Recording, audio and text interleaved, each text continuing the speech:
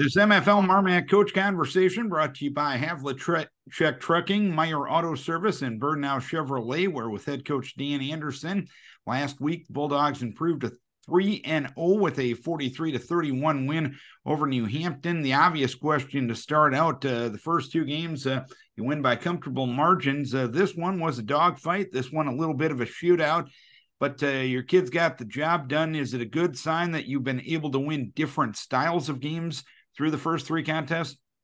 Yeah, you nailed it right there. You know, it's good that uh, you know our defense carried us the first two weeks. Um, you know, we shut out uh, Crestwood thirty-five to nothing, and then against Waukon last week, we were up thirty-four to nothing going into the fourth quarter, and they scored a couple times late there uh, when we had some reserves in. But you know, New Hampton, uh, you know, they they were able to move the ball a bit on us, and they uh, we had a couple of uh, miscommunications and communication issues in our secondary, and they uh, we missed a couple tackles here or there. It's kind of uncharacteristic of our guys. And Coach Ferks over there at New Hampton, uh, you know, he knows his system. He's been doing it for 30 some years. And so, I mean, it doesn't take him long to figure out what a defense is trying to do to stop you. And he's got an answer for it. So it was a bit of a cat and mouse game. Um, you know, we're jamming their tight ends and, you know, uh, uh, you know, trying to take away power and off tackle plays. And, and then they're running a really nice uh, option pitch. There's, you know, they're, they're riding the ball to their fullback and, getting your linebackers sucked in and then they pitch it out and you're jamming the tight end, you know, it's hard to, to you know, play, play contain and uh, also jam a tight end and force the ball. So, you know, we, we made some adjustments, but it was 21 21 going into halftime. And one of those scores was a kickoff return uh, for a touchdown, 90 yards by a New Hampton boy, you know, the number 11. He had some wheels. Um, our guys have got to get a little tougher.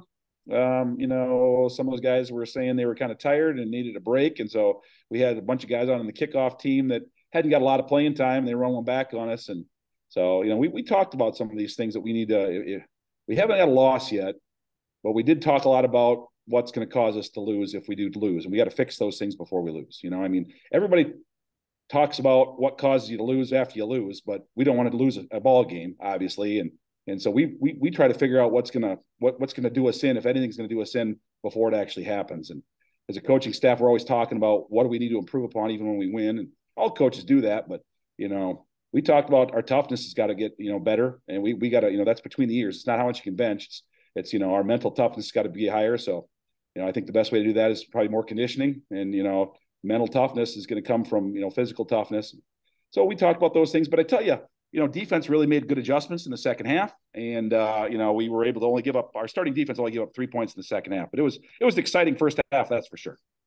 And it was 21 21 at the half. You outscored them 22 to uh, 10 uh, in the second half. Uh, you mentioned your starters only gave up the three points. What was the reason for the defensive turnaround in half number two? Well, you know, just just some adjustments with our with our outside linebackers and uh, you know our, our stack backers you know, we widened our guys a little bit. Uh, you know, we, uh, like I said, we we had to play a bit of cat and mouse with you know myself and their head coach, and you know, I told them we're not going to jam their tight ends all the time because we get predictable, and, and, they were trying to run that pitch at the outside. So uh, I had to, you know, we had to change a few calls up a little bit, widen our stack linebackers, you know, and and uh, I think that's all it really took. I mean, the one thing I really liked is the fact that that our guys didn't panic. They trusted our coaches. They trusted, you know, our adjustments. And when they came out in the second half, we got uh, you know we got the stop. Well, actually, we got the stop, and then we had a roughing the punter. They got a first down, and then they were able to kick a field goal. So they actually took the lead. That's the first time we've been down in a game for a long, long time. You know, I mean, been in the third, second half we were down by three, and then after that we scored 22 unanswered points on them. You know, and, and really took over. Our defense really buckled down. Our offense was was hot all night. I mean, we never punted on Friday night, so I think we put up 450 some yards or of offense and never punted. So, you know, offense stole the show. Coach Pomeranting, uh, my offensive coordinator, had a great game plan. The kids executed it to a perfection and run and pass. And so, I mean, the offense was clicking. It was just nice that we could win, you know, another way. It just shows that, you know, if you can't win with their defense one week, your offense, you know, picked up the slack for us and, and did a great job.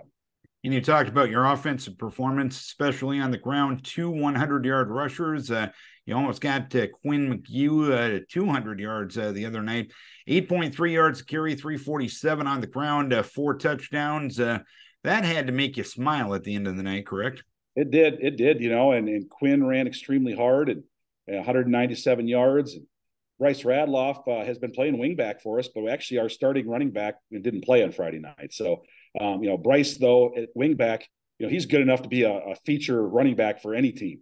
You know, but he plays wing for us because we've got uh, Wyatt Powell that usually plays running back for us, and Bryce is a different type of runner. Bryce is uh, smaller, much quicker, shiftier. You know, you know, he cut, change a lot of directions, and uh, make people miss. Wyatt, you know, can do those same kind of things. Wyatt has great speed, big, strong and you know he'll run you over just as quick as he'll run around you. You know, and Wyatt's 215 pounds, so Wyatt didn't play with a you know he's got a hand injury. Um, you know he's he'll be back, but uh, he didn't play on Friday night, and so you know it was great to see Quinn have the the you know the game he had 197 yards. You know that's a career high for him. Bryce Radloff 121 yards and I think three touchdowns, one one rushing, two receiving. You know, so yeah, when you can rush for eight points some yards or carry, you know, a lot of that goes to your offensive line. I was really proud of our offensive linemen. I mean, holy cow, you got uh, you know Aiden Schulte in there and, and Avery Thornton, Will Howes, uh, Gordon and Deal, those guys up front. Um, they really came together. You know, we talked about this before, Darren, that your offensive line takes a little while to start gelling as a unit. And the first couple of weeks, they played well. They did, but they didn't play great football. But on Friday night, they played great. And, I, you know, Carver never got touched once when he was throwing the ball. You know, they opened up big holes. And in the only hits that Carver took, our quarterback took, is when he was running the ball. And obviously he's going to get tackled. But when he, he was back in the pocket to throw, he had a clean pocket every time. And he was able to make some good throws. He was six for 10 for 160 yard or 106 yards and two touchdowns. So um, a lot of that credit for our offense performance came came from those offensive linemen on Friday night. And this week is the start of district play. The games count uh, I guess, doubly for real uh, starting uh, tonight. Uh, you look at your district as a whole, your district as a whole, uh, 13 and 5 in non district play. Uh, I know uh, you probably thought this district was going to be pretty good coming in, but so far your district is holding up their end of the bargain. is that fair to say? they are. It's a loaded district. I mean, so, you know, eight game schedule, and our first seven games are against playoff teams from last year and good ones. You know, we we were very fortunate um, you know, we made it through our non-district schedule against three bigger schools, Crestwood, Waukon, and New Hampton, three two-way schools. And you know, we we we came through three and zero. Oh. I was really proud of our boys. Um, but now is when the games really really matter. And you know, you've got Aplington Parkersburg, and we've got to go down there this week and play at the Sacred Acre. And you know, legendary uh, coach, you know, Ed Thomas, you know, where where he had that program going. And you know, we've got Dike New Hartford, who went within one point of Grundy Center, who's the number one ranked team in the state of Iowa in our class. So Dike, you know, they, they're, they're extremely tough, and Sumner Fredericksburg is undefeated right now, and they knocked off uh, East Buchanan, who was the number three ranked team in Class A, and we'll play them in two weeks. And you know, you've got Denver, who who you know beat uh, uh, New Hampton worse than we did. You know, and so Denver's big up front. I mean, they're 270 to 300 all the way across their O line, some some strong backs. So yeah, our district is loaded. Um, we'll just have to take it week by week, and uh, you know, uh, it's going to be a tough one, but it'll be exciting. And you know, we believe we can win every game, but there's there's any team could beat us any Friday night too. That's how good our district is. And uh, this week you do, uh, as you mentioned, uh, head to the Sacred Acre, taking on Aplington Parkersburg. Uh, what are you expecting out of the Falcons Friday night? Well, it all starts with their quarterback, Gavin Thomas, who is actually the grandson of the legendary coach Ed Thomas and uh, that kid is is really a, a, talented quarterback. He's been playing for years. He doesn't get rattled. He's got a really a good arm, uh, very accurate, and uh, he can beat you with his legs too. He's a fast, athletic uh, kid. He's just a all around athlete, and and so watching him in the first three games, um, you know, he can win the ball game for you. You know, there's not not often you have a kid that can you know win a game for you by himself. You know, football's a team game, but that kid is pretty talented. He can he can make things happen um, with his legs and with his arms. So starts with him, and uh, you know they've got some backs that run pretty hard. Um, you know they're they're not overly big up front. They're they're you know somewhere between you know 180 and, and 230 across their O line.